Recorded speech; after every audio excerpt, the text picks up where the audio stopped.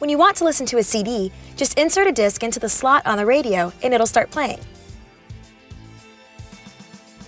If a CD is already loaded, press the disc button to choose the CD player as a source and it'll start to play.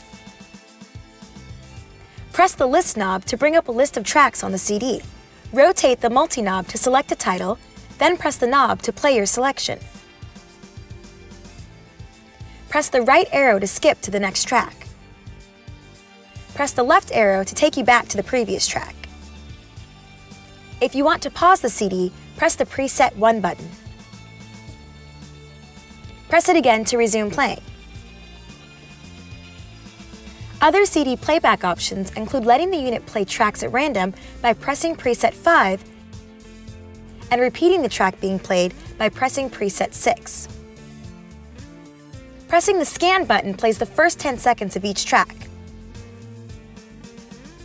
Pressing it again selects the song.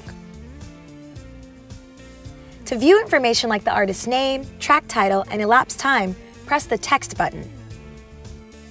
The CD you're playing must include text information or no text will be displayed. When you're finished listening and want to retrieve the CD, just press the eject button.